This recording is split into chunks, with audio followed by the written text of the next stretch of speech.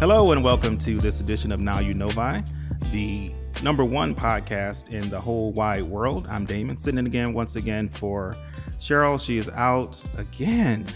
This time she's out on business though.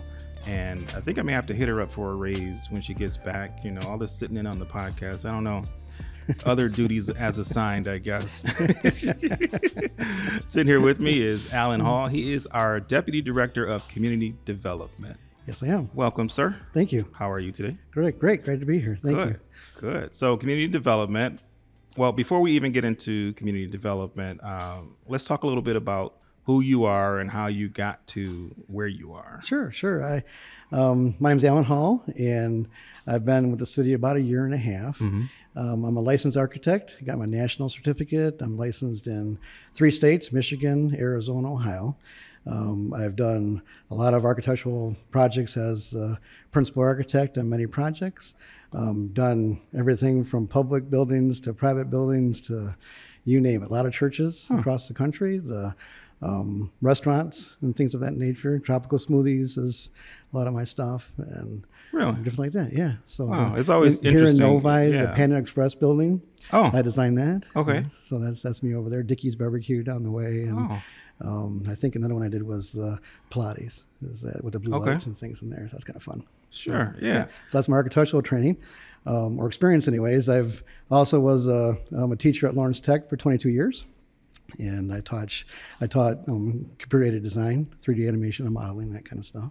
So I've had a lot of experience in um, design and projects and building from ground up and turnkey productions. Yeah. Okay. So at Lawrence Tech, you're an- a teacher in art. yep, ar- architecture? adjunct, adjunct professor in architecture. Well, little known secret. When I was a young lad, a wee young lad, I was going to become an architect. Is that right? Actually, all the way up until I was about 14, 15. I actually went to a school, high school for engineering professions in Houston, Texas, to become an architect. Is that right? Yes. See there? So I went to I went to Lawrence Tech. So. I can use a T square like nobody's business. well, I learned on a T square. There you go. So, in fact, I was the first student at Lawrence Tech who presented digitally in the Wow, whole school. okay. Yep. I was everybody was on boards and T squares and things, and and I had to do it on the computer. We didn't have actually we didn't have like real good printers back then, so I had to take slides off the computer screen, and I presented slides to the professor then. So Wow. So that was neat. Well, yeah, yeah. So kind of pioneering that kind of I started with Lincoln Logs and Legos. That's funny. so tell me a little bit about uh, community development. What does your department do in a broad sense? So we we oversee the both the building and the planning divisions. So so anything that's planned in the city, anything that's built in the city, um, from the um, you know design aspects, we cover that. You know, so um, DPW is more on the roads and that kind of thing. We're more- Infrastructure. we're more buildings, so Yeah. we're above the ground kind of things. Um, so um, Barbara McBeth is our planner, a city planner, um, and she heads up the planning department. Um, and then we also have our building inspectors who do all the inspections of all the buildings that are in the city.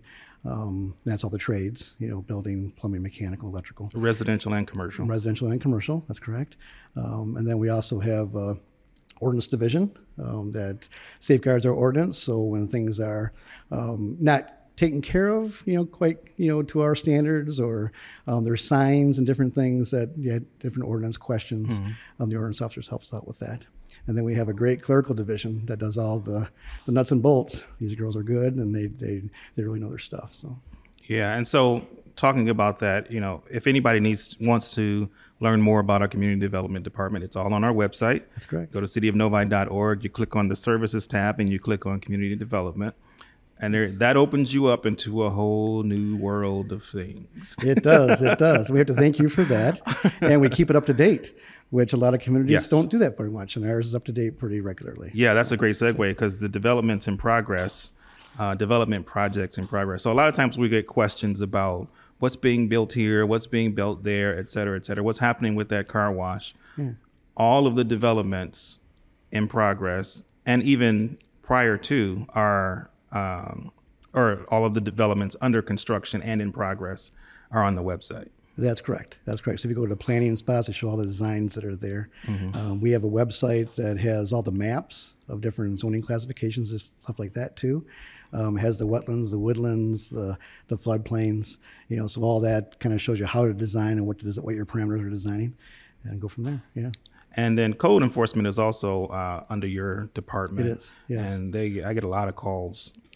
yeah, probably on the property maintenance, I would imagine. Yes, And yes. so we we've broken up the city in sections. Uh-huh. Um, there is no order to the sections; it's randomly picked. So for the property maintenance initiative, Uh, it that's is. currently ongoing. Yes, it's ongoing. Yeah, and it's and it's a it's a five year turnaround plan. Everybody's going to get a letter.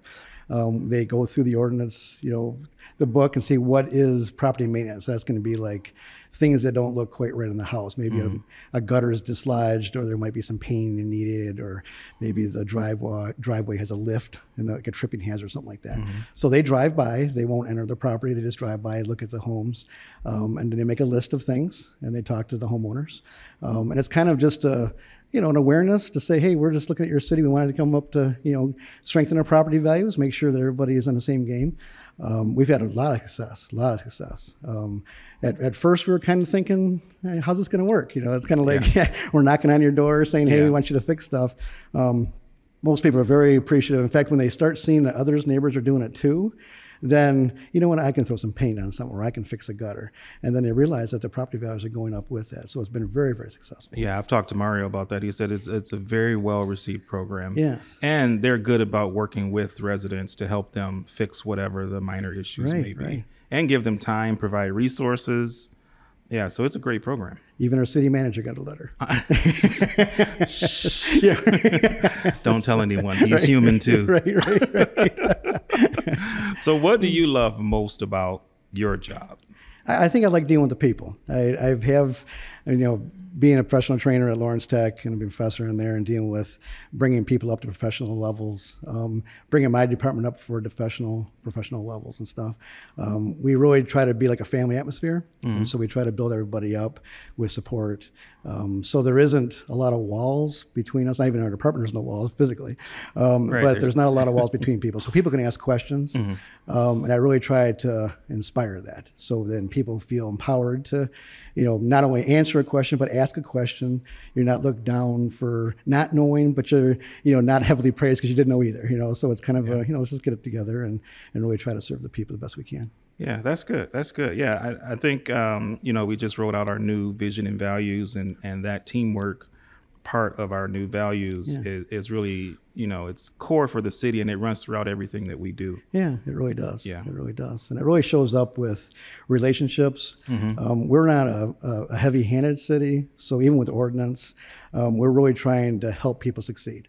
You know, so we really we're not out there writing tickets because we're pounding our chest and being that guy. You know, we're we really want to say, hey, this is an issue. You know, it's an issue. You know, so a good example of that is just some of the um, political signs that are showing up now because Mm-hmm. they've upcoming elections. Um, we don't read the signs. So we don't read them. So we don't know who's it for or whatever. But you can't put a sign, you know, to a tree. You know, you can't have a sign in the right of way. And so our people come by that's going to take them, you know, and then we'll, we'll store them. Um, so it may look like, hey, you're taking my sign down, but you got to do it for the rules. And there's ordinances and there's rules for that. And you can find that by just contacting the city. We can tell you where to put them. Absolutely. All right. Well, good. Thank you very much. See, easy peasy. This is fun. And you are inspirational. Uh, for those of you that are watching on Inst- on YouTube, not Instagram, on YouTube, uh, you can see our jackets match. oh, that's bit. right. That's right. We got the Uh. I think we both went to the same JC Penney, right. right. except mine is like 15 years and 20 pounds ago. I'm surprised it still fits. Actually, I think if I take the shoulder pads out, it'll probably fit better. Yeah, that's right. Well, thanks, Alan. Thanks for Well, thanks dropping for by the pod. I appreciate it. Uh, anything else you want to talk about? No, I, I think that's great. I, I, you do a great job. I Well, tell you, thank you. I do. It's, Thank you. I I've asked you to do things, and you're not. I mean, right now, you're you're on it. So, Yeah. high praises. High praises. Thank you. I appreciate that. I appreciate that. And thank you, Josh, behind the scenes. He's if you, you can't see it, but he's um, pressing all the buttons, switching cameras, and making sure our audio stays. yes, just- making sure we look good and sound good. So we appreciate Josh. He's he's um, a, lone eagle back there. Uh, doing his work. So we appreciate Josh as always. Thanks, Josh. So thank you um, again, Alan. And as Cheryl has all of our guests do, you have to say it with me. Okay. That's it for this edition of Now, Now You, You Know Vi. Now you know Vi. Now You Know Okay. Have a good one, everybody.